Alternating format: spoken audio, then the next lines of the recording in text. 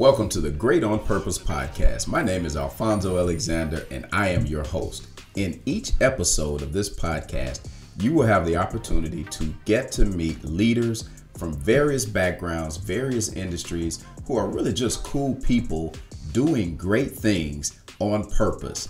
They are pursuing their purpose and pursuing greatness and walking in lockstep as they do it. You'll understand what we mean more about that as you get into the podcast. Our goal here is to help you understand that being great is not just something that happens, it is something that has to be done on purpose and in alignment with your purpose.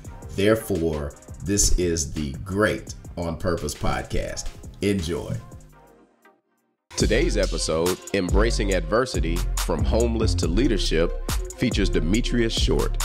Demetrius would not let the dark and discouraging days he faced as a college student stop him from reaching success. Instead, he chose to use his struggle as a platform to ignite purpose, inspire success, and transform the lives of collegiate students and positively impact youth living in underserved communities. Demetrius is the CEO and founder of Transformation Life Center, a nonprofit 501c3 organization based in Nashville, Tennessee. Take a listen. Hello, and welcome to the Great on Purpose podcast. Today, you will have an opportunity to hear from a great person who is doing great things as he continues on his journey toward greatness on purpose. I want you to welcome with me Demetrius Short. Demetrius is a phenomenal gentleman that you will see from this conversation is really walking in his journey toward greatness and is doing that in alignment with his purpose. Demetrius, welcome to the show. Thanks for joining us today. Well, we're super excited about being here. Truly thankful for the invitation and this conversation that we hope will not only uh, develop those who are listening, but develop me also. Excellent, excellent. Well, thank you for already having a purpose in mind with this conversation, man, because that's what we're we're all about is aligning that purpose with the greatness that we're trying to pursue. So, Demetrius, you're already doing some great things. Why don't you just let folks know what I know about you already and share with us who you are and some of the things that you have going on right now? Yeah, my name is Demetrius Short. I'm originally from Cincinnati, Ohio, matriculated to Nashville in 1992 to attend the great Fisk University uh, and obtained my double major in computer science and business. Was the first of my family to uh, graduate from college. Um, and I currently work as a senior software test analyst with Cigna over uh, 25 years in IT and healthcare. Um, and we just came off um, on the personal side of myself being a CEO of Transformation Life Center, a nonprofit here in Nashville, just celebrated 11 years. And we just successfully completed our uh, 11th annual Steps of Success 5K. You'll hear more about um, that endeavor. But in the midst of a pandemic, we actually uh, had our greatest year $60,000 um, from this annual fundraiser where I run in the suit and sneakers to help ignite, inspire, and transform the lives of college students and youth living in underserved communities. So we're we're riding that wave. Uh, we just received our largest donation, single donation from Fifth Third Bank, strengthening our community fund $30,000 for our Black Men Run Brown Boys Read initiative to implement a financial literacy piece. Um, and one of the most exciting things that's happening right now is that we're getting ready to get in front of some of Nashville's best and brightest minds in our Pathway to Success Initiative Leadership Academy, where my true passion and heart is to help cultivate tomorrow's leaders today in the African American community. I'm also a dad that's a little nervous about my 17 year old princess, my one and only daughter, getting ready to graduate for college. So I'm doing college tours right now. And I have a beautiful 22 year old, 22 year marriage with my wife, and she's currently in school. So I'm a spouse that's helping her write papers to get her master's degree in educational psychology. So pretty exciting and rewarding times here in the short household.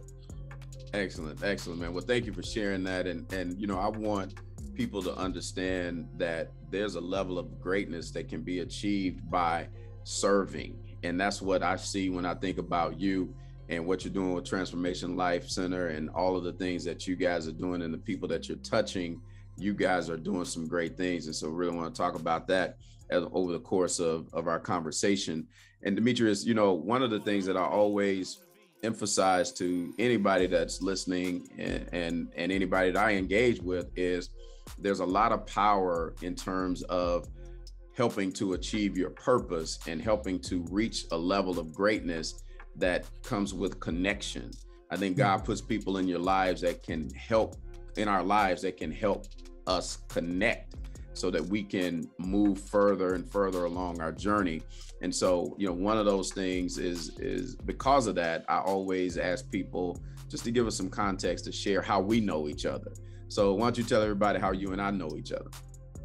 Oh wow, I know it and I rehearse it in my mind every day, and I thank God for it. 2019, uh, preparing for our 10th year uh, for our nonprofit organization. Again, I'm an I'm an organic CEO, never run a nonprofit before, and here we are about to embark on our 10th year um, of success in the Nashville community and transforming lives. And I was fortunate enough to reach to to to be uh, a recipient of the Power Moves Award in 2019, and lo and behold. Um, this guy named Alfonzo Alexander, God divinely placed him behind the table we were sitting at. And after my acceptance speech, I remember walking back to my seat and um, just getting comfortable in the seat. And this, this, I get this tap on my shoulder, and the guy says, um, "Hey, man, we need, we need to connect."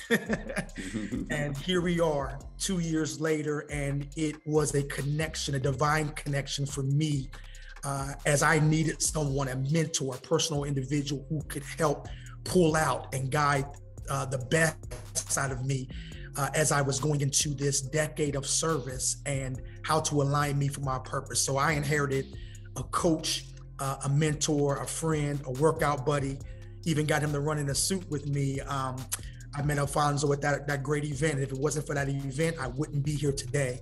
So for the last, you know, two years, uh, Alfonzo has been a mentor, coach, and personal friend of mine. Yeah, that's great, man. And, we both have benefited from that relationship.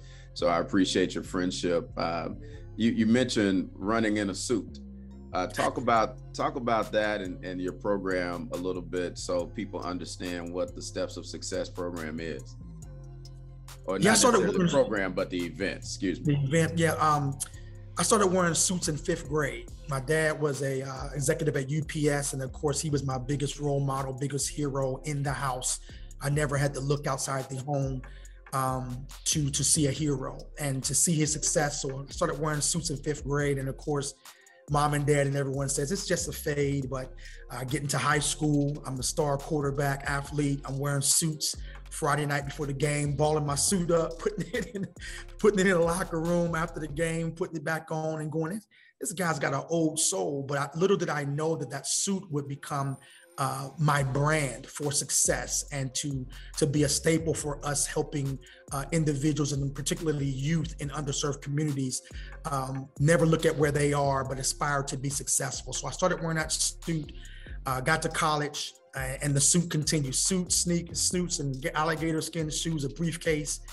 But at that time, I was going through one of the tar- darkest days of my life. Didn't get a scholarship to go to Fisk, and I had to pay for uh, school. And I ended up, you know, sleeping on the floor. And really, not too many people know the story, but I was almost homeless. Um, held it back from my parents. The shame of being the pride of Cincinnati, and just having to pull myself through and just take steps each and every day to know that you have something in your gut that you want to become, but putting in the work every day. So I would walk from Fisk University all the way up to my internships on Murphy Road with Caterpillar and HCA. Um, and lo and behold, when I measured it, it was actually 3.1 miles. So I was walking a 5K back in the early 90s as a struggling college student. And here I am today I vowed being a successful uh, IT uh, software uh, test uh, engineer. I vowed to take my journey and my struggle. How can I take that moment and make it a positive and use this platform?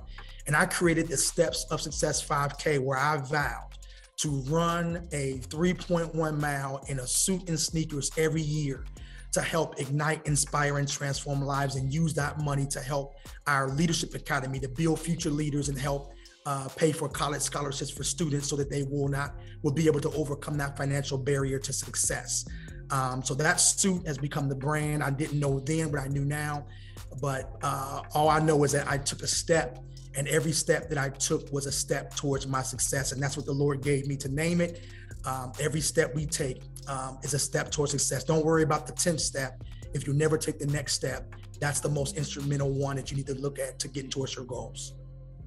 So let me make sure everybody understands this. So you you walked as an intern mm-hmm. from your college to your internship and back every day. So you'd go to class that morning. Mm-hmm. That afternoon, you'd walk to your internship, work, and then walk back.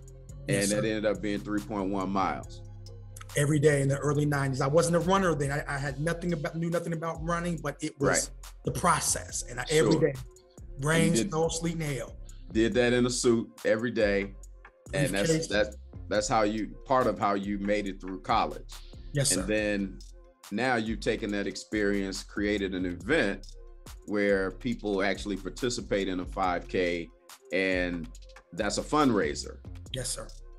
For other students that that maybe uh, had a similar situation as yours, but still a 5K is the distance, right? Yes, sir. That is.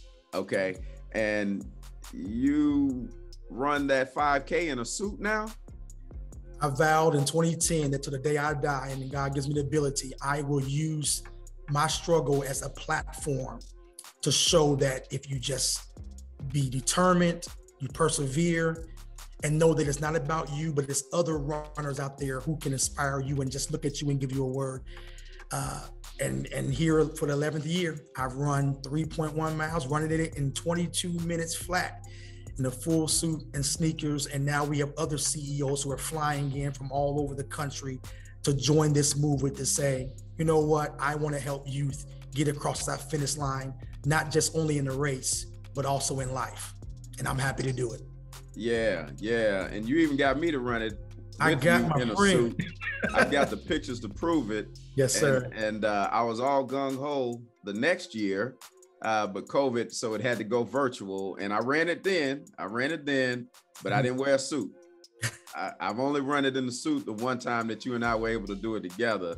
Uh, and then this year I had to do it virtual as well because of schedule conflict. Um, but uh, I enjoy it. It's it's you know I I'm not a runner, but I use running sometimes as part of my fitness routine.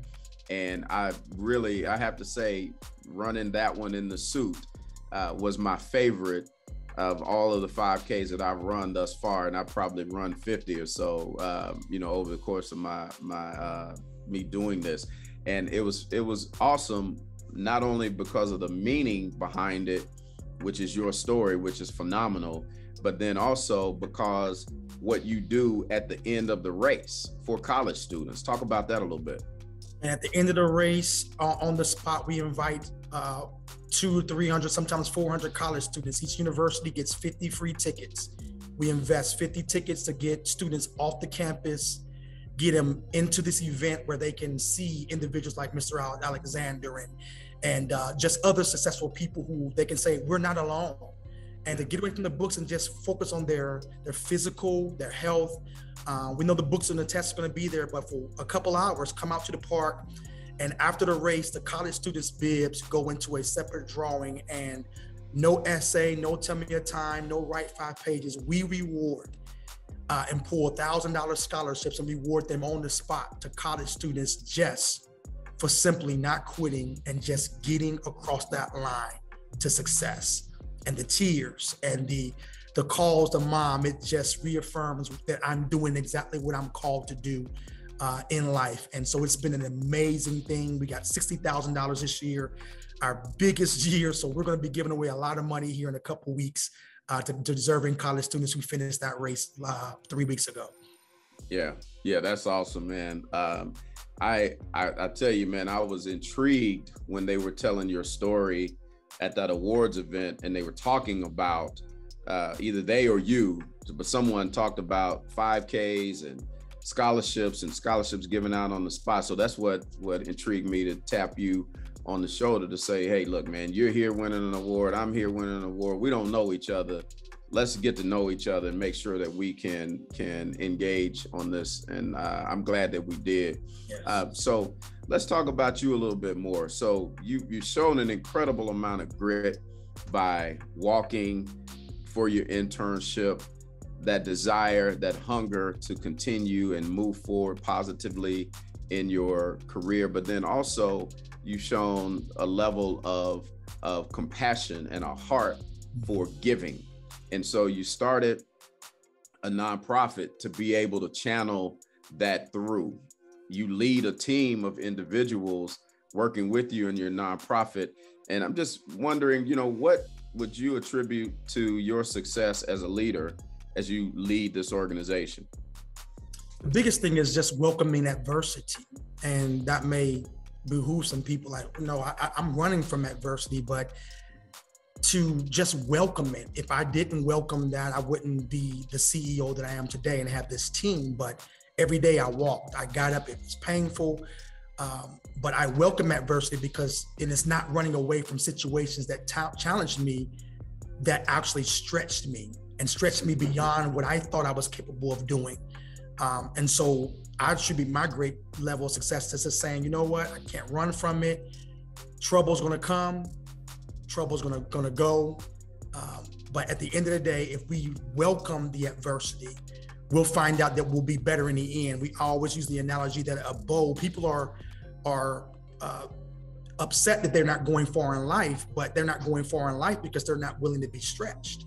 Mm-hmm. And the further that the bow is pulled, and, and, and you know, it takes it takes jerk, it takes it takes strength to pull. But when it's released, the further the arrow will go. So for me, I welcome the opportunity to be stretched, to be made uncomfortable, um, and that's been a big attribute to my leadership is that no, I don't want it. I'm not getting up every day saying, Lord, put me in a in a trouble. That's not what I'm saying. I'm not so super spiritual that that I'm saying that. But I just to welcome it knows that if I wake up and it is there, that I have the ability, I have the strength, and I have the potential to overcome anything. And that's what my team relies on for a resilient leader um, because then they it, it, resonates with them that they know that when we got hit with the pandemic and we've never done a virtual race and the first thing in the board meeting was well we've never did a virtual race but you know what my response was well we're to do it this year we're to find out and if we did not vote to do it and if i didn't push through man we wouldn't have had 790 medals uh, to go all over the world and last year we did 50000 um, and now we have this great uh, new virtual platform that none of us were prepared for. But I'm, I just welcomed it and didn't run from it and said, you know what? My team relies on the biggest attribute of me saying, you know what, Demetrius is not afraid of adversity because through it, and on the other side of it, you're going to find out you're a better version of yourself than you were before it. Yeah, yeah. Awesome, awesome. So let's talk about adversity a little bit uh, because you welcome it and uh, and you can grow from it significantly as you articulated just now. So when you think about over your career in life, what is the biggest obstacle that you had to overcome and how'd you do it? How'd you overcome it? For me, it's just shame and pride. You know, when you live with expectations, you know, I'm a, I'm a pastor's kid. I couldn't cuss and I couldn't get in trouble. I couldn't, do, I couldn't do anything growing up from kindergarten. I, I had to be perfect from the womb. you yeah. know, and all that pressure causes uh, an individual like myself um, to not want to ask for help. Um, mm. And I constantly look at you know, don't want to make this a preaching thing, but I, am a spiritual guy.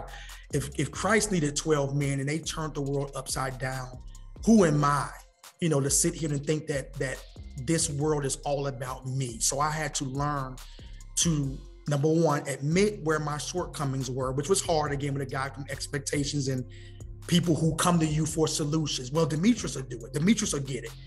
I had to learn to say, no, I'm not the solution guy and tell them I may not have it, but I know someone else who can. Mm-hmm. And so I had to learn, Demetrius, don't be the go to guy. Don't be the solution guy because you don't have all of the solutions. That let a lot of anxiety come off of me. And it, it, it, it opened me up as a leader to say, hey, if I would have met you, you know, 10, 15 years ago, I probably wouldn't have taken you up because of my the shame, you know, of asking for help. Uh, mm-hmm. But man, I've learned to surround myself in every area of my life that I'm weak in with individuals who are strong in that. And that doesn't make me a weak person. That makes me a smart person because now I'm equipped uh, as a Swiss Army knife with all the tools to be able to overcome uh, adversity that comes my way because it doesn't come through me. It comes through my network and my resource that's that's cheering on uh, me to be successful. So I'm surrounded by some pretty great uh, men and women in my life to make me successful. So I'm humbled myself uh, and humility to say I don't know everything. Tell people nope, I don't know the answer. The great Demetrius, you don't know? No, I do not know, and feel great about that. so yeah. I free myself to be able to help others. Yeah, yeah, and and you know we don't have all the answers, and that's why we need to have a network of people to help us get through uh, as we move forward. Demetrius, you know, if you if you had the opportunity to give some advice that you would say, this is some of the best leadership or success or growth advice that I could give somebody listening right now based on your own experiences, what would that be? And right out the gate is, is don't let your history define your destiny. Um, don't let your history, and we have computers. Again in computers you have your history. They, they like to save things in your in your google or or, or your phone. You can save things and, and that's a good thing right? Because we can rehearse and go back to yesterday's things. But so many times many of us we live um, uh, a forward thinking life by what we've done in the past. And so i always say don't encourage people. Don't let your history define your destiny, whether it's good history or bad history. Don't miss out on the beautiful blessings in your future with a rear view mirror perspective. Mm. And when I look at the car industry, everything in the car functions. You got rear view mirrors, you got side mirrors, and they all serve a purpose. I'm glad for some rear view mirrors. So, but what they do, their function is to show you where you've already come. That's their purpose to show you where you have already come. Mm-hmm. Dad left me. Take a peek back. Yes, he did, but they give you and they invest more money in a big front window that's showing you your future.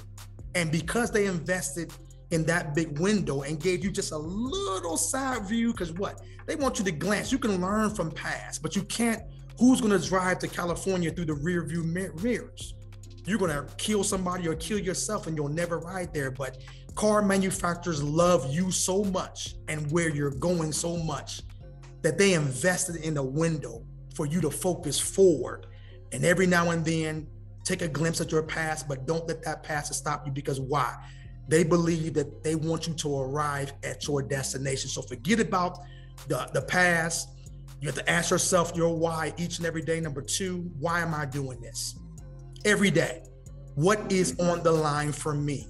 And that means that if I don't become the person that Alfonzo believes I can come, there's two impacts. There's an impact on me, but also the others who are aligned to my success. And you have to ask yourself if I don't become, or if I don't do, or if I don't accomplish, how empty will my life be without that thing? Also, how are your children's lives going to be impacted? How is your generation? How are those students at Fisk University and the community going to be impacted? So you ask your why, and then you set the foresight that if I fail, what impact does it make? If I'm successful, what impact does it make? And then you then have to decide on yourself, I want to live in the areas of impact and go from there. So ask your why, feel it with passion, and don't let uh, your future, your history define your destination. I love it. I love it. Man, I thank you so much, uh, particularly um, people understanding their why, because your why is part of this purpose and the whole scope of that. If you want to achieve greatness, you have to make sure that you start from ground one, and that is understanding what your purpose is. And then everything else you align and strategically make sure that you manage your situations to the best of your ability so that you can be working toward achieving that purpose. And that becomes part of your why. Mm-hmm. You know, if, if my why is to create opportunities for other people in my family or other people who are friends of mine like you, if that is my why, then I understand how that fits within my purpose because they're connected, they're aligned. And as I pursue greatness on purpose, then that's what I am doing is I am walking in that purpose and great things will happen. Great things will come my way as I chase my purpose. Not chasing money, not chasing fame, any of that. If I chase my purpose, then those other things will come. And that's really where we got to go. Demetrius, if you had one last thing that you want to share with the listeners, uh, just to kind of give some encouragement or some thoughts on them pursuing purpose and achieving greatness as they pursue that purpose, what would that be? And for me, it's a, it's a saying that I, a quote I created. You know, obstacles are just speed bumps, and I've never seen a speed bump stop a car. It temporarily delays it, but the car has the potential to get over the bump. Why are you letting an obstacle stop you? The next time you go to a store, next time you go through a uh, a no speeding zone, look look at that op- look at that speed bump. It's they're not telling you to stop. It's just an obstacle. So I want to challenge everyone to not let obstacles stop you from from your success. It just temporarily temporarily delays you and we don't like delay. We want everything microwave in now, but you need the process. Enjoy the process, enjoy the ride, and always knowing. So the next speed bump you you go over, you're gonna think about this podcast and say, Yep, that crazy guy running the suit. He told me that my life is symbolic of what I'm getting ready to do. I'm gonna still continue to go forward, but this is just a temporary delay. And I believe in you. Alfonzo believes in you to be successful, and the world needs you to overcome obstacles because greatness is inside of you. Man, thank you so much. I love that. Obstacles are just speed bumps, and speed bumps don't stop cars. They do slow you down. That's it. And sometimes that's necessary. Sometimes we are going so quickly that we may not have the full thought that we need to be able to execute. So we need these little bumps to slow us down a little bit to make sure that we have the intellectual component a, a part of what we're trying to do so that we can move forward successfully. Man, I love that. Thank you so much for sharing that with us.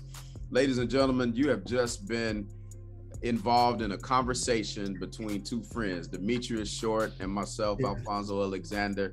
We are talking about how you can be great on purpose here on the Great on Purpose podcast. Demetrius, thank you so much for joining us, man. This has been great for me for us to have this conversation. I really appreciate you and all of the wisdom that you shared. I appreciate your passion and your heart for giving back and helping others to achieve greatness on purpose. So thank you for being with us today. Thank you guys for joining us. Have a great one, Demetrius. We'll talk soon. Sounds good. Thank you, sir.